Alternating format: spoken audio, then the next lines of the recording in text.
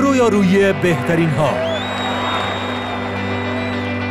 دور برگشت مرحله نیمه نهایی مسابقات لیگ برتر افغانستان. سیمون قلبارس در مقابل شاهین آسمایی. امروز ساعت 5:30 شام به طور زنده از طلوع و لمر.